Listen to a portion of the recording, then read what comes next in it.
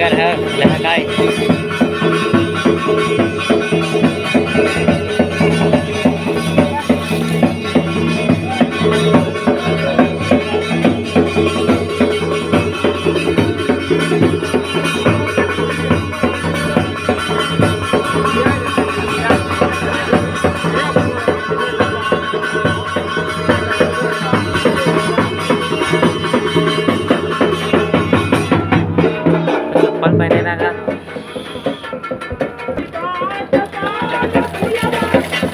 What is that?